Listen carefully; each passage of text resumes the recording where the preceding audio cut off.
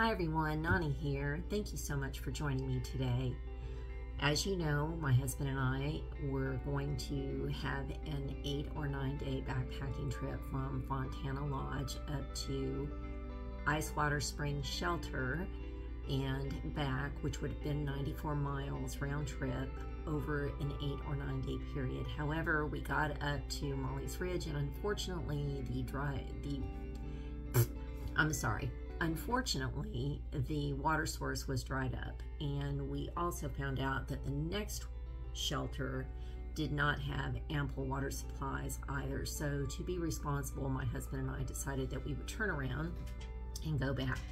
And in doing that, we found that we were on that side of North Carolina and we didn't want to come back home and we didn't quite know what to do with ourselves. So we decided that we were going to make lemonade out of lemons and we did a couple of um, off-site adventures that we had not planned and sometimes those spontaneous things are the best. We did end up at Nantahala Outdoor Center and I thought that in addition to providing you with some photos and a little bit of video that I would provide you with some feedback on Nantahala. We have been there many, many times. Perhaps this information will be helpful for you in your logistical planning and being able to know what is available to you. I'm going to look back and forth at my notes. I want to make sure to include things that perhaps will be useful for you. The Nantahala Outdoor Center have cabins and there are large, large buildings that have numerous rooms with a common area in the middle. The common area has a full-size stove, oven, refrigerator, microwave, a washer, and a dryer. And the washer and dryer are at no charge. That's just part of what you pay to actually be able to stay in the rooms there. There is no soap provided for you to do laundry. It's just that the washer and dryer are available and they work well. My grandson and I went on a whitewater rafting trip to Nantahala in June of this year and had a fabulous time. It was his first trip, and I'll add a little photo here.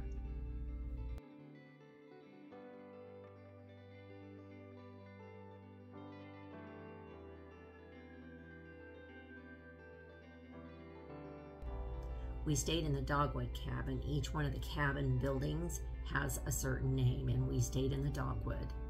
It was clean, and uh, we had a king-size bed with it was a private room with a king size bed, a private bathroom, and then you came out to the common area to be able to use any of those facilities that you wanted to use. It worked out great for us. We were able to wash our clothes, keep our food in the refrigerator. It was marked and use the freezer. It, it, it worked out really well. Rates will be changing November 15th, 2022. They have not yet been posted. If you want to stay in the Dogwood or one of those other cabins that has a king-size bed with a private room, the rate was 107.39 and that included taxes and fees. Now that is an off-season rate. Uh, that is not high season rates and that's just something that you're going to have to check out when you decide you're going to be coming through and talking to NOC. I'm going to leave the phone number for reservations below so you can contact them. There are a lot of prompts that you have to hit to get to the reservation line. So I'm just going to give you like the number one, the number five, and the number one after the main number to get you to new reservations. Um, and then you don't have to listen to all of those different prompts. If you want to do laundry, they do have a general store at the Nantahala Outdoor Center and they sell Tide Pods for 50 cents each. That doesn't include tax, but they are 50 cents each. They also sell them in scented and unscented for those of you that have sensitive skin. There is another facility for through hikers to be able to stay, and that's called Base Camp. Base Camp, you can get a private room that is just a small room. It has air conditioning, it has heating, and it has one set of twin bunk beds in it. The door locks, you get a key to that door. There is nothing else in there. There is no television set. There, there is nothing. They have electronic outlets for you to be able to charge your electronics. And in the base camp area, they have a common area that has several stoves, several refrigerators. Um, they have a couple of microwaves. There is not a washer and dryer in base camp. Uh, I will explain more about washers and dryers to you in just a moment. I want to finish talking about base camp first. The thing about base camp is when you stay in those bunk beds, they have thin little mattresses and there are no linens. You will have to use your sleeping bag and your pillow, whatever it is that you have. it, it is just a basic rudimentary room.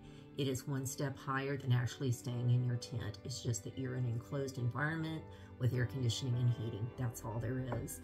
Now, in the common area of base camp, they have shower facilities, and sometimes they have towels and sometimes they don't. And so you need to make sure that you have a towel, your own personal towel, to be able to dry yourself off after you take a shower. Please do not depend on them to provide a towel for you. If there's one there, great.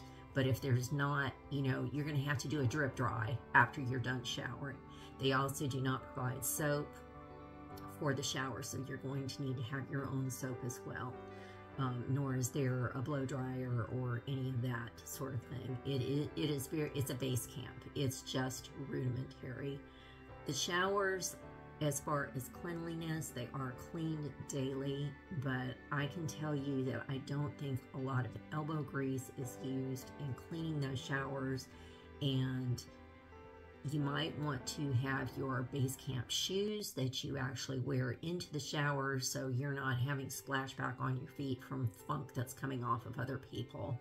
It's a good place to clean off. You'll be happy that you've had a shower, but I would not say that it is the cleanest presentation of a shower facility that you probably ever experienced. Again, it is base camp. I want to overemphasize this. The Nantahala Outdoor Center has two restaurants. One is the Rivers End restaurant and one is Wesser Cafe. Now, Wesser Cafe is seasonal. It is not open in the winter months. And so, depending on when you're coming through, it may or may not be open. And both restaurants are right there, kind of in the same area. Um, it's not like you have to go a long distance to get from one to the other. They're, they're right next to each other. The Rivers End Cafe is a very good restaurant. I have eaten there, we have eaten there many times, and except for one time, our experiences there have been very positive and the food has been good. The entrees can be a little pricey. They range from 12 to $20 per entree. And like I said, I had one bad experience there. In fact, it was in June of this year the chef found out I had had a bad experience and he did his very best to make amends for the fact that it was not optimal. Um, therefore, he gets big kudos from me, um, and I would not hesitate to recommend somebody going there to eat. If you are staying the night there, they do not serve breakfast. The Rivers End restaurant is open seven days a week, as is the general store, as is the Outfitters. The Outfitters does sell some backpacking meals, although I feel like it is a very small selection. They do have lots of repair and gear uh, equipment in the outfitting store.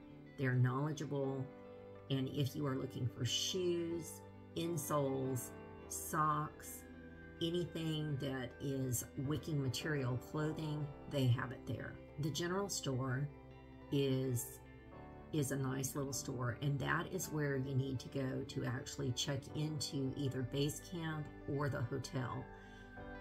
It doesn't matter where you're going to stay. If you're going to spend the night, you need to go to the general store. It's best for you to make reservations in advance. When you get ready to come into NOC and you want to either get a room because you have not called in advance if a room is available, or you're trying to get the key to get into the room that you have reserved, you will need to go to the general store. The personnel there are very, very nice. I will say that they move a little slow, so you need to be patient when you are getting ready to go in there and have a great attitude about it. Um, they just they they move on a different clock, and you know they're in a very laid back environment. They're professional, but they just move a little slow. And uh, if you are coming, if you have made a reservation, and you arrive at the general store after hours, then they will have a packet of information for you on the outside of the store in a wooden box. It will have your name on it, it will have the key to your room in it, and it will have a map telling you how to get from the general store to base camp or from the general store to the cabin. They're not it, it's kind of funny the general store is not right next to those those areas you kind of have to cross the street and kind of go up around a little bend to get to base camp. And if you're coming in in the middle of the night, it could be a little bit confusing. So these maps are going to be very helpful for you. Now I want to return to talking about the laundry facilities. They do not have a washer and dryer in base camp. They do have them in the cabins, but they do not have them in base camp. There are washer and dryer laundry facilities behind the general store and uh, currently they are closed because they're undergoing repair. But when through hiker season begins in February or March, they will be reopened and available. They are coin operated, and you can get your coins from inside the general store. Again, you can get your Tide pods from inside the general store as well. And again, they are 50 cents, scented or unscented. The laundry facilities charge $2 for a load of washing and $2 for a load of drying. So you're going to need to have $4 whenever you want to do one load of clothes. Additionally, as far as base camp is concerned, they do have a general dining hall there and you can prepare your own meals. You can cook there. They have a kitchen that is stocked where you will be able to do that if that's what you're interested in doing. The general store is stocked well for those individuals that like eating less nourishing choices. Um, basic backpacking food available. They do not carry backpackers meals. They do have a few healthy choices in there, but it is a very few. They do have an ample supply of beer and ice cream. The base camp rate for two individuals staying in a room with a set of bunk beds is $47.73. That is not each, that is the price for the room as a whole. So whether one person stays in there or two, the price of the room is $47.73. I'm switching gears here. I want to give you some other information that is not necessarily about NOC if you do decide to stay at NOC and you want to be able to go into town to resupply, you're not going to have a resupply box, then you can go into Bryson City. And Bryson City is 13.7 miles from NOC. It is an 18 minute drive. It is around a lot of windy up and down curves. It's, it's in the mountains, and that's what you'll have to go through to get there. There are two grocery stores that are in Bryson City. One is in IGA and one is in Ingles. They also have a laundromat there, Joe and Kate's Laundromat, that I could recommend. Um, they also have a wonderful Mexican restaurant, and I can't give you the breakdown on all the restaurants that are there, but because Mexican food is my favorite, um, we have eaten at Guayabitos numerous times, and the food there has been very good every time that we have gone. It's been consistent. When you are staying at Fontana Dam, and I should have included this in my Fontana Dam video, but I failed to do so.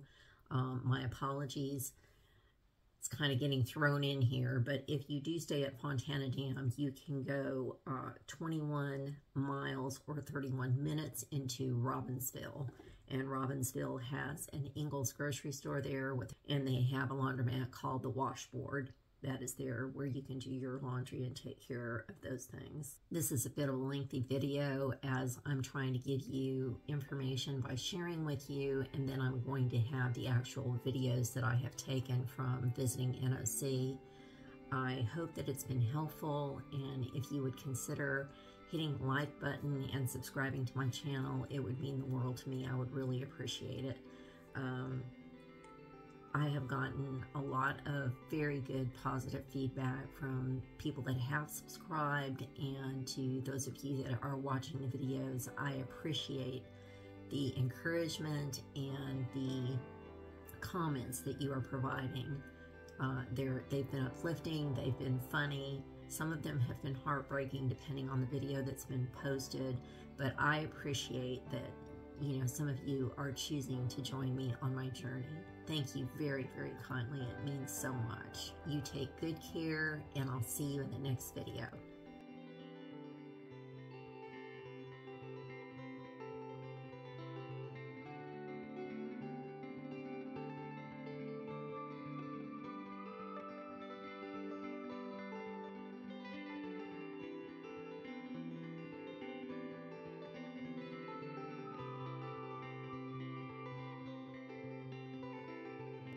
This is when, when you come off the trail and you simply come across the street here. And this is the general store. At the back of the general store. You come around and across the street is the Outfitters. And you can see it says Welcome Hikers. And right here is the general store. Across the street is the River's End restaurant. And then down the little walkway right down there, you can go to a cafe. And further up around the corner is where the hostel and the hotel rooms are. Lots of junk food.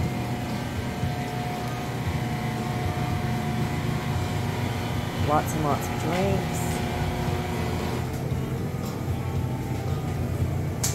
Okay, they've got some food here, and some food up here, lots beer.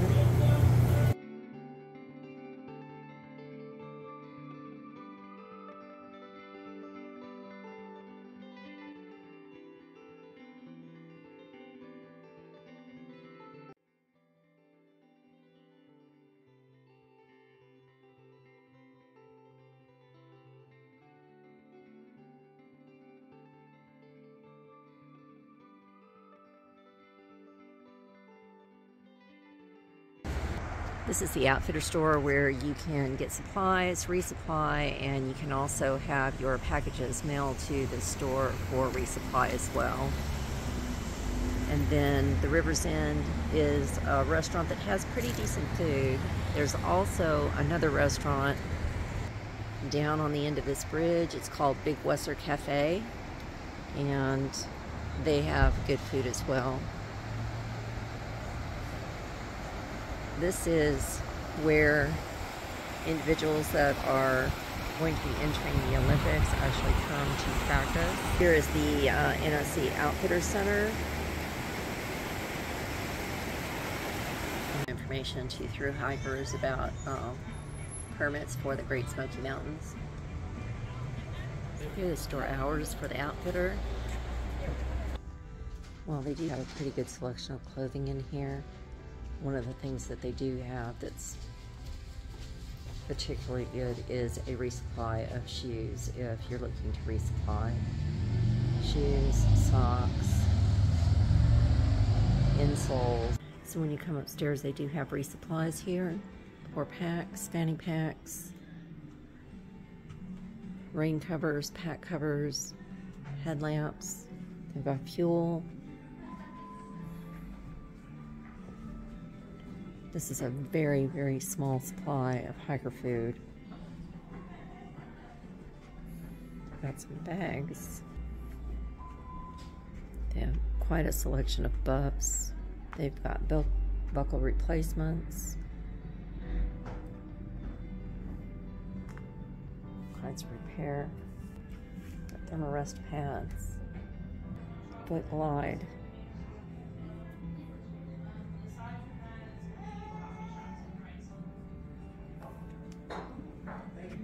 Rest of this is for whitewater rafting. Leaving the NOC and you're trying to get right back on the trail, notice there's a white blaze on this telephone pole. Really needs to be painted again. All those fellows you see in the back are guides for the river rafting. Okay, so right behind that NOC, you just come through the parking lot, you find that pole, and then here are the railroad tracks. And cross over these tracks